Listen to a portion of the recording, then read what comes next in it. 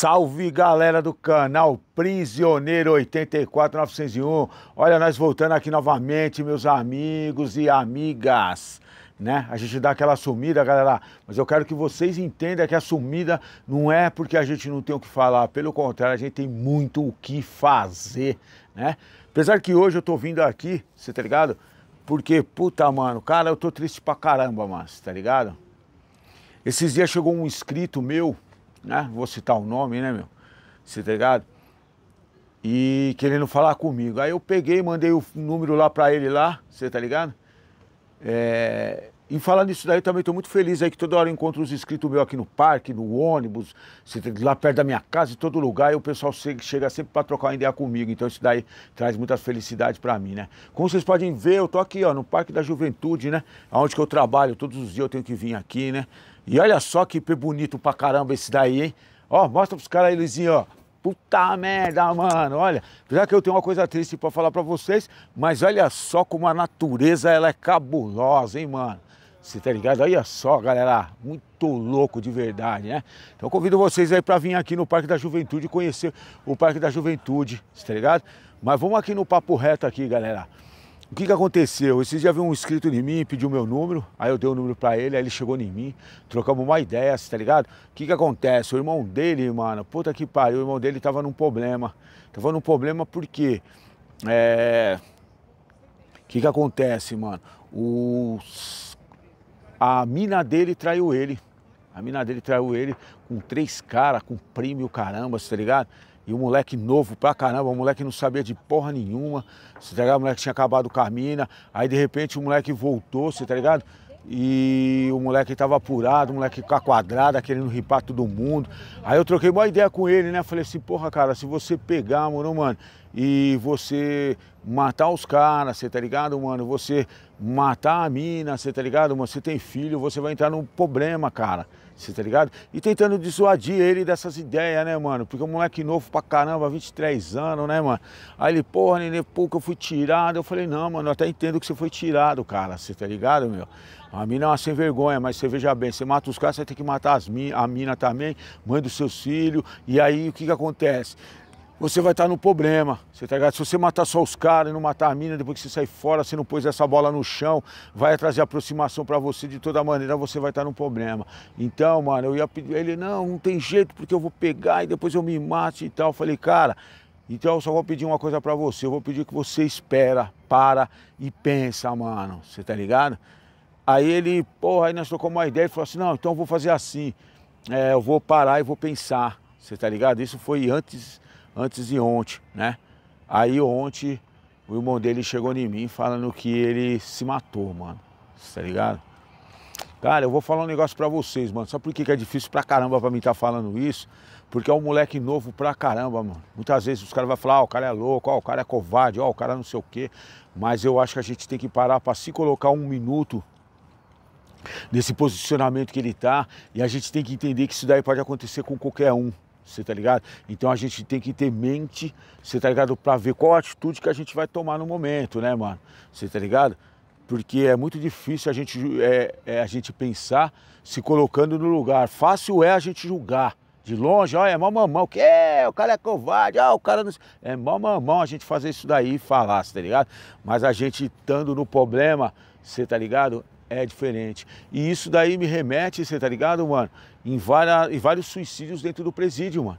Você tá ligado? Que eu presenciei, presenciei várias caras que se mataram e a gente ouve falar dos caras que se matou dentro da cadeia também, né, mano? E é difícil pra caramba, tá ligado? Muitos podem pensar de uma vez, eu, eu, eu pessoalmente, um cara que se mata pra mim, ele é muito corajoso. Eu não teria coragem de me matar, hein, mano? Você tá ligado? Nunca eu não teria coragem. Então, os caras, para mim, é muito é corajoso. Não que isso, né, meu, seja alguma coisa para se levar como um ícone, né, meu, mas puta que pariu, tá ligado? E, ao mesmo tempo, egoísta, porque ele se mata, né, deixa o problema aí pros outros e nós não sabemos o que, que acontece realmente, né? É um mistério, né, meu?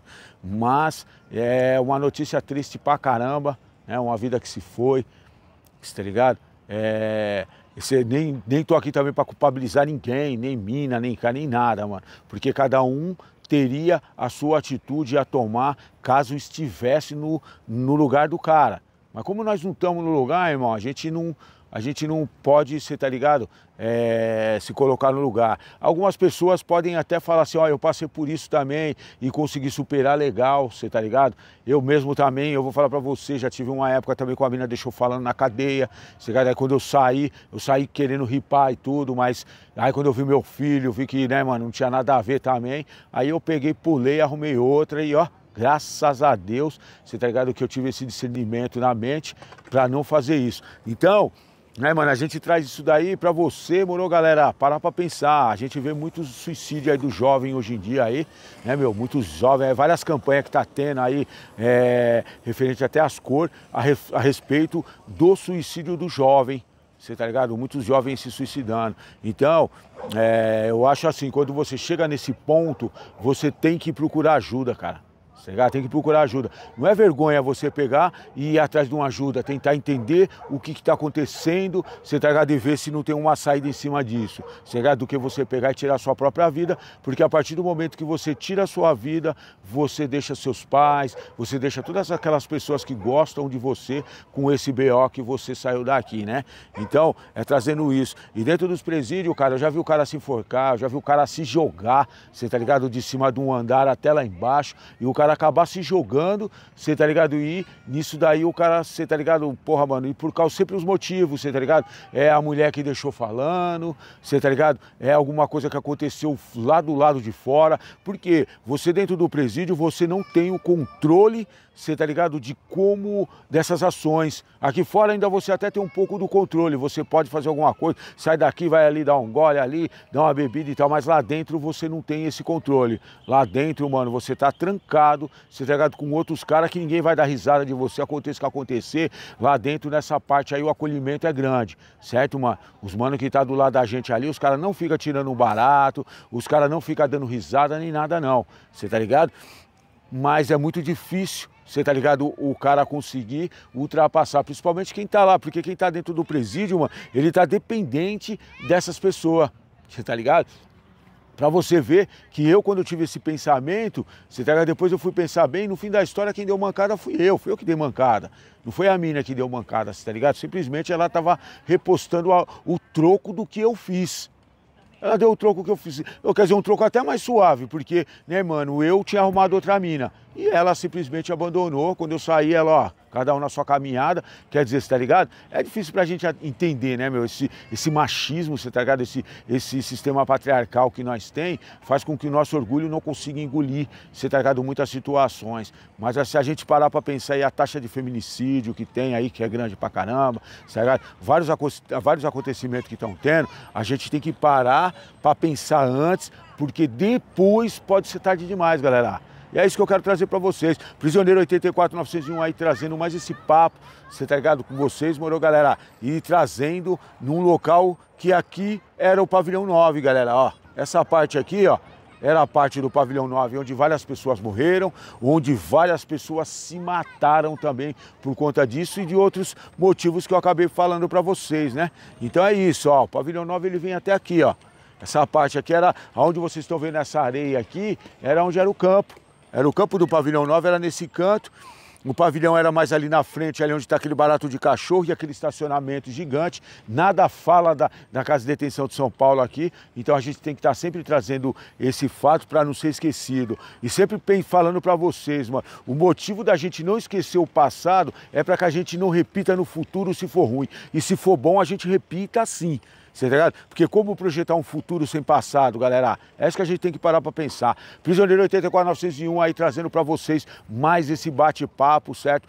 triste e doloroso, morou, mano, não só por essa morte, mas por muitas outras que a gente vê aí tirando a própria vida, cada um tendo o seu motivo, você tá ligado? E muitas vezes as pessoas, elas não procuram ajuda e hoje a gente temos ajuda, a gente sabe que hoje é, a psicologia, principalmente, terapia, hoje é tudo uma ciência, né, meu? Não é, eu acho, é uma ciência que pode ajudar, sim, muitas pessoas a encontrarem o caminho. Eu conheço muitos sobreviventes que saíram, que hoje essas pessoas fazem, você tá ligado, terapia, não só sobrevivente do massacre da casa de detenção, estou falando pessoas sobreviventes do cárcere, né? E essas pessoas elas procuram ajuda e fazem suas terapias e serve para elas. Eu não faço porque acho que a minha terapia é essa, tá trazendo para vocês aqui. Então, de uma certa maneira, eu acabo desabafando e muitas vezes conversando, porque vem muitos comentários e a gente está sempre nesse bate-papo.